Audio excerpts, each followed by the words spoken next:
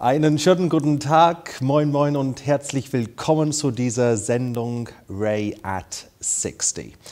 Mein Name ist John Goodyear und es freut mich sehr, meinen guten Freund, äh, meinen Ersatzpapa hier in Deutschland sogar begrüßen zu dürfen. Er heißt Ray Brown, äh, Ray Sidney Brown genauer gesagt, und er ist in diesem Jahr 60 Jahre alt geworden. Mit Ray habe ich so hervorragende Gespräche geführt bei ihm zu Hause und ich dachte, es wäre so sinnvoll, interessant und passend in diesem Jahr, in diesem 60. Jahr von ihm, diese Gespräche hier ins Studio zu holen und für Sie, liebe Zuschauer, präsentieren. Wir haben über die Kindheit, wir haben über seine schulische Ausbildung und wir haben ebenfalls auch über seine viele Berufe gesprochen. Und heute geht es um das Thema angekommen. Ray ist hier angekommen äh, in diese Sendung. Ray, danke noch einmal für die Einladung für unsere letzte und dritte Sendung Ray at 60. Ebenfalls herzlichen Dank. Gerne geschehen, Ray. Also in den letzten Sendungen, Ray, haben wir viel über das, was du geleistet hast in den Jahren, also sei es äh, die schulische Ausbildung äh, hier in Deutschland, ähm, Physiotherapie, Osteopathie, Pflegen, äh, und du hast natürlich äh, Wissen abgesaugt, aufgesaugt. Ähm, und nun bist du Lehrer. Ist das richtig? Ja. und was unterrichtest du? Ähm, also ich unterrichte Osteopathie mhm. an einer Osteopathieschule und gebe mein Wissen gern weiter. Mhm. Und wir hatten ja viele Jahre das Problem als Physiotherapeuten, als Osteopathen, dass wir weit fahren mussten, um zur Fortbildung zu kommen. Man muss also so und so viele Fortbildungspunkte alle drei Jahre nachweisen. Und das ist manchmal dann nicht ganz so einfach oder auch nicht so billig mit Übernachtung. Und dann habe ich gedacht, ich könnte ja eigentlich ja eine Fortbildungseinrichtung selber gründen. Selber gründen? Ja. Wie kommst du aus, auf solche Ideen? Ja, ich, ich denke, das hat was damit zu tun, dass ich immer mit ähm, Menschen zu tun hatte, die eigene Fortbildungseinrichtungen hatten, okay. wo ich dann ähm, als Übersetzer gearbeitet habe mhm. und die osteopathische Seminare von Englisch ins Deutsch übersetzt habe. Und ich hatte immer mit Organisation zu tun, mhm. obwohl ich obwohl ich nicht dafür eingestellt war, aber man hat ja immer so ein bisschen ausgeholfen hier und da. Und plötzlich war ich voll und ganz in der Organisation involviert mhm. und habe das dann gemerkt, eigentlich könnte ich das hier in Oldenburg selber machen. Mhm. Und ähm, zu dem Zeitpunkt war ich dann ähm, mit Martina Jansen befreundet, also heute immer noch. Mhm. Und sie ist Heilpraktikerin. Ja. Und dann habe ich gedacht, ja, es wäre schön, wenn man das zu zweit machen würde. Wenn einer krank wird, dann springt der andere ein. Mhm. Und das hat sich auch sehr, sehr gut bewährt. Mhm. Und äh, wir haben dann, weil wir, weil Martina mit der Volkshochschule schon äh, zusammengearbeitet hat für äh, den sektoralen Heilpraktikerausbildung, hatten wir dann ähm, die Volkshochschule Oldenburg, also die Abteilung äh, Gesundheitsakademie, dann den Vorschlag gemacht, dass wir eine Fortbildungseinrichtung gründen für Osteopathie und Physiotherapie. Wow. Und dann haben wir das Ganze Um-Forum genannt, also O für Osteopathie, mhm. M für manuelle Therapie und ähm, also ein Forum von beiden, also ein Forum für das Wissen, umforum.eu. Mhm.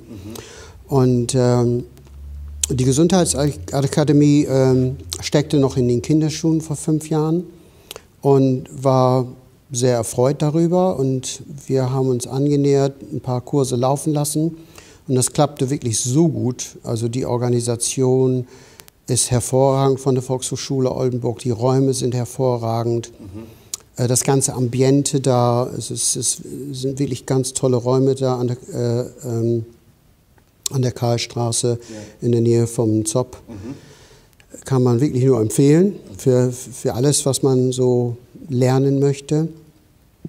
Und ähm, daraufhin hat dann der Direktor gesagt, okay, dann machen wir einen Vertrag. Jetzt habe ich also einen Vertrag mit dem Direktor um Forum und Gesundheitsakademie arbeiten zusammen. Ja.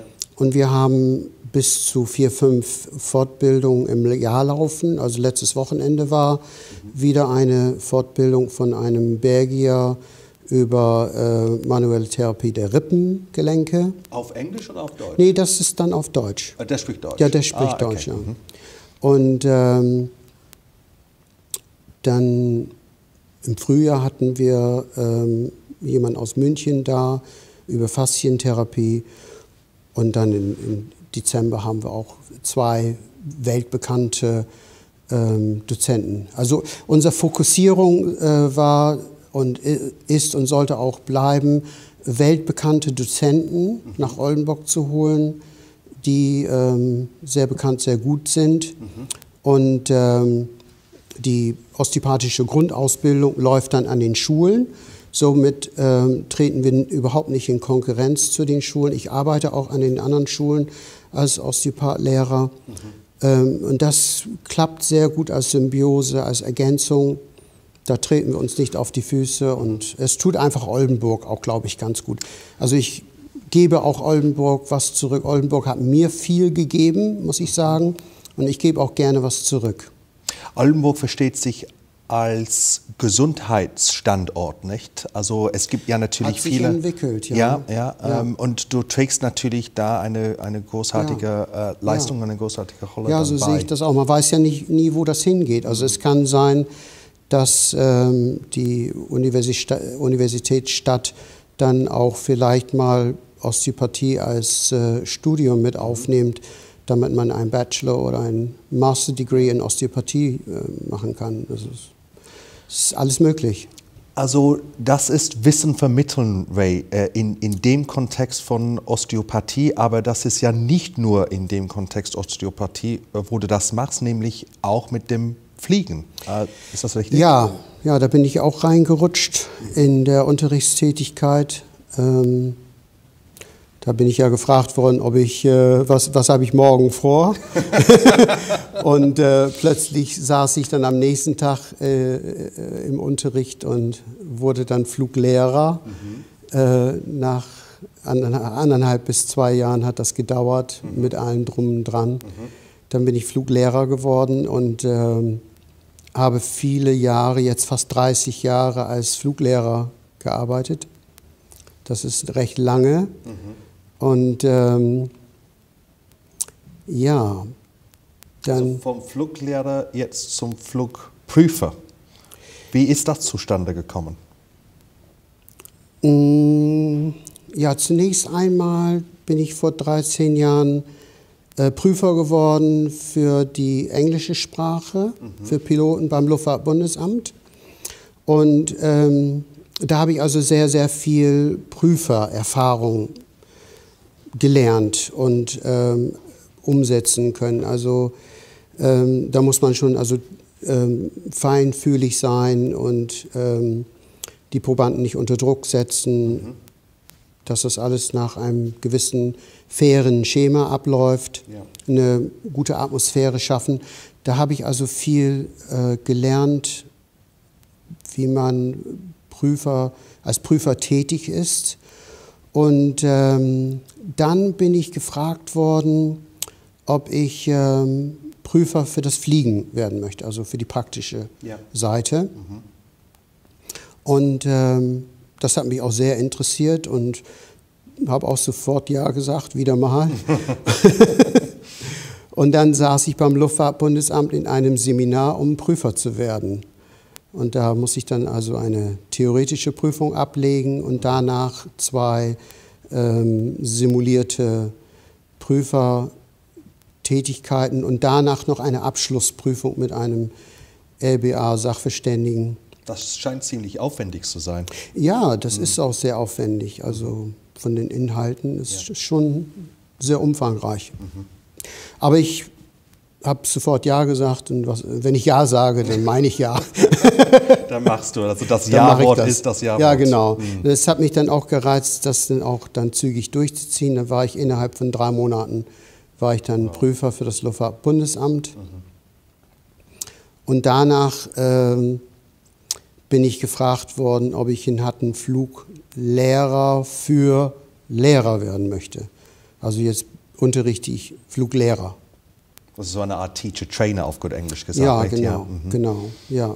Und ja, gut, weil ich 30 Jahre schon unterrichte, mhm. äh, muss ich mich da auch gar nicht darauf vorbereiten. Ich muss einfach nur erzählen, ja. was, was man da zu machen hat. Und die Inhalte, ähm, die sind einfach da. Und das ist sehr erfahrungsbasiert, nicht ja, Ray? Also ja, die ganze Erfahrung, die du gesammelt hast, äh, als Masse und du kannst dann, ich schätze mal, alle möglichen Fragen beantworten. Also hast du je eine Frage gekriegt, wobei du gedacht hast, oh, das weiß ich nicht? In dem ja, klar. Bereich. Also man bekommt immer mal eine Frage, wo man denkt, oh Gott, habe ich das jetzt vergessen. Aber Gott sei Dank weiß ich, das meiste weiß ich. aber, ich will, aber ich will nicht sagen, dass ich alles weiß, das wäre ja gelogen. Ray, das ist so vielfältig. Gibt es ja andere Berufe, die du machst, äh, von denen wir nicht gehört haben? Also wie gesagt, Osteopathie, Physiotherapie, Fliegen, Prüfer, Lehrer, Lehrer für Lehrer, Teacher, hm. Trainer. Ja, ich bin jetzt seit kurzem äh, Prüfer geworden für die Niedersächsische Landesluftfahrtbehörde. Das finde ich natürlich genial. Also das, äh, das mache ich sehr, sehr gerne und bin auch sehr dankbar, dass ich in diese Position gerutscht bin. Mhm. Das macht mir sehr, sehr viel Spaß und ich weiß, dass das auch eine ehrenvolle Aufgabe ist und das schätze ich auch sehr und bin da sehr korrekt, aber bin nicht überstreng. Also Bist du nicht überstreng? Nein, nein. Wenn jemand fliegen kann, dann kann er fliegen. Die, die, Im Deutschen sagt man, man muss auch mal bitte Butter bei der Fische lassen. also wenn jemand was kann. Also. Ja. Bei der Prüfung ist auch jeder mal aufgeregt und dann muss man einfach mal so da durchgucken und sehen, naja, aber der kann das schon. Ray, im Sinne von der kann das schon, wir hörten von, ähm, von vielen Seiten aus der Politik, aus der Zivilgesellschaft von, von Integration. Also wenn wenn man überlegt, du bist ja vor 45 Jahren hier in Oldenburg ohne Sprachkenntnisse angekommen. Mhm. Und 45 Jahre später, du hast das alles gemacht, was du äh, uns in den letzten drei Sendungen gesagt hast. Ähm, was würdest du anderen sagen, die genauso sind, also wie bei dir das der Fall war vor 45 Jahren, also hier ohne Kontakte, ohne Sprachkenntnisse, ohne einen richtigen Schulabschluss. Was würdest du denen empfehlen? Ja, ich hatte sehr, sehr gute Gespräche mit dem Sozialpädagogen Herrn Teuerkorf vom, von dem damaligen Arbeitsamt an der Osterstraße. Ähm, also habe ich so einen guten Background, wie man mit solchen Gesprächen beginnt. Mhm. Und ähm, durch das, was ich erfahren habe in Deutschland, weiß ich, dass es eine Menge Institutionen gibt und äh, Menschen gibt, äh, gerade in der Sozialpädagogik, ähm, die da sind, um einen zu unterstützen und die das auch wirklich auch aufrichtig meinen und aufrichtig umsetzen. Es gibt hier sehr, sehr viele Möglichkeiten. Und ich würde demjenigen sagen, hör genau zu, mach dir Notizen, ähm, versuche herauszufinden, wo deine Interessen und deine Stärken stecken. Und geh damit Vollgas drauf zu und lerne und nicht zu viel Ablenkung. Ein bisschen Ablenkung ist vielleicht ganz gesund, aber trotzdem fokussiert am Ball bleiben und nichts ist unmöglich. Also jemand, der aus einem Kriegsgebiet aus Syrien kommt mit absolut keine Ausbildung und vielleicht auch keine Angehörigen mehr, weil alles zerbombt wurde und kommt ganz alleine als Kleinkind hierher, der könnte sogar Chefarzt in einem Krankenhaus werden. Meinst du, das ist möglich? Das ist alles möglich. Das ist alles möglich. Mit, der, mit einer vernünftigen Unterstützung, mhm. also die Regierung und die Regierung und ähm, alle Menschen, die zusammenarbeiten in der Sozialintegration, ähm, sind da. Und wenn dieser Mensch dann auch alles aufsaugt wie ein Schwamm und auch willig ist und alle arbeiten gut zusammen mhm. und die glückliche Fügung kommt noch hinzu, dann könnte das alles möglich sein. Alle Türen sind geöffnet. Mhm. Wie betrachtest du die heutige Lage, Ray? Also du hast von syrischen Flüchtlingen, also es gibt ja viele ähm, Einwanderer, nicht nur aus Syrien, sondern aus Osteuropa. Ähm, also in Oldenburg haben wir zum Beispiel viele Leute, die aus der, aus der Türkei, aus dem Irak, aus, aus Russland, aus Kasachstan kommen. Äh, wie betrachtest du äh, diese, äh, das, das Phänomen Einwanderung und angekommen zu sein? Also die Schwierigkeit, die ich da sehe, ist die Überwältigung der äh, Sozialkompetenzen. Wir haben eine, eine Flut von Menschen, die einsortiert werden müssen, äh, die geholfen werden müssen. Erste Hilfe, also nicht im Sinne von medizinischer Erste Hilfe, sondern ähm, Unterstützung, äh, Essen, Trinken, Kleidung, Unterbringung. Versorgung. Versorgung. Ja, ja. ja Versorgung. Und ähm, dann kommt als nächstes dann die Bildung. Also die, ich höre immer wieder aus den Medien, wir haben zu wenig Lehrer, mhm. wir haben auch vielleicht zu wenig Sozialpädagogen mhm. oder wir haben zu viele Einwanderer. Äh, das müssen schlaue Leute dann analysieren. Mhm. Und ähm, ja, das wird kein einfaches Unterfangen sein, weil wir im Moment doch ziemlich viel Einwanderer haben. Das kann schon mal schwierig werden. In, in dem Kontext, Ray, hat sich Oldenburg geändert über die Jahre? Ähm, also das Gesicht der Stadt Oldenburg, vor allem nicht nur eine Einwanderungswelle, sondern an sich das Bild Oldenburg, für dich persönlich in den letzten 45 Jahren?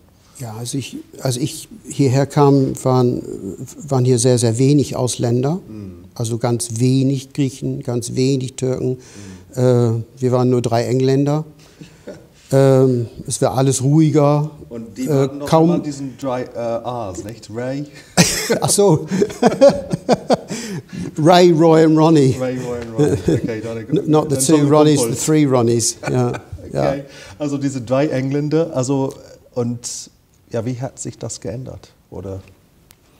Ja, es ist ähm, die Einwander, äh, die äh, Einwohnerzahl hat sich drastisch erhöht. Mhm. Ähm, dann die Zuwanderung von außen ähm, kommt noch hinzu. Mhm. Dann ähm, die Ausbreitung oder die, die äh, des, äh, der Universität Karl von Otznetzky, mhm. äh, jetzt zur medizinischen Fakultät. Ja. Äh, das bringt noch mehr Menschen äh, hier nach Oldenburg.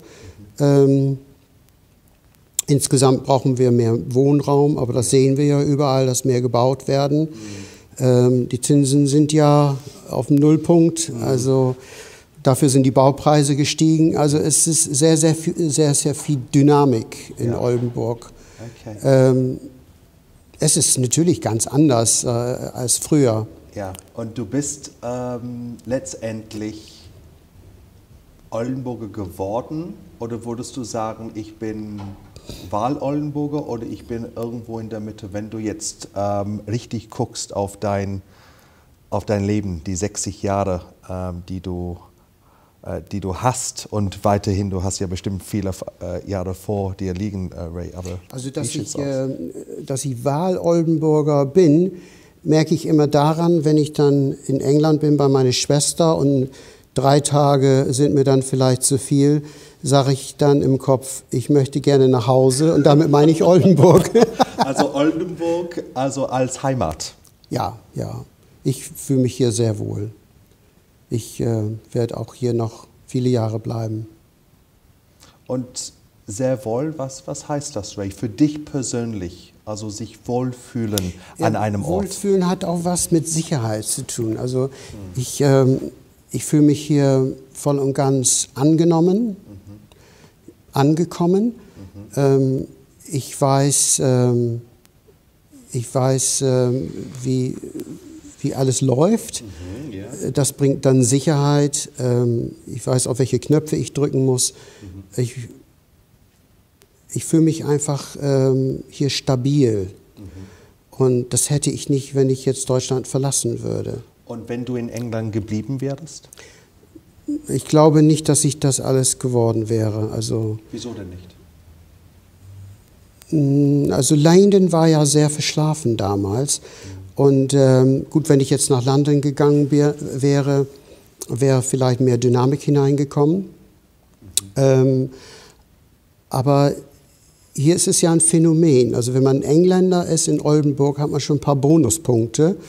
Und das, hat, das hat für mich, für mich äh, so einige Türen immer wieder geöffnet. Also ein, zunächst einmal Gespräche sind entstanden und durch die Gespräche sind äh, Bekanntschaften, Freundschaften, Freundschaften und es haben sich Türen geöffnet und äh, daraus habe ich nun was gemacht. Äh, das hätte ich in England nicht gehabt. Das hätte ich nicht gehabt. Also ich glaube, ähm, durch das deutsche System der Unterstützung und die Ausbildung für Erwachsene, also das äh, ist hier doch ziemlich gut, also sehr gut. Also um das Ganze abzurunden, Ray, 60 Jahre, was würdest du sagen, was ist dein Lebensmotto? Ja, immer fleißig sein und äh, immer am Ball bleiben, nicht aufgeben und ähm, treu zu sich selbst bleiben. Ja, immer hier im Hier und Jetzt sein und nicht gestern und morgen und äh, fokussiert bleiben. Ray, das war es. Dankeschön für die, die Zeit zusammen. Das hat mich ähm, vollkommen ich bin vollkommen begeistert, alles, was du nicht nur sagst, sondern alles, was du geleistet hast. Vielen herzlichen Dank. herzlichen Dank zum 60. Dankeschön. Ja, äh, das war es, äh, liebe Zuschauer. Es hat mir richtig Spaß gemacht, diese Sendung zu moderieren, Rays Leben zu präsentieren, 60 Jahre lang. Der ist hier natürlich in Oldenburg sehr bekannt für alle möglichen Sachen. Man könnte wohl sagen, der ist richtig Legende. Wir wünschen Ihnen alles Gute, äh, tschüss und auf Wiedersehen.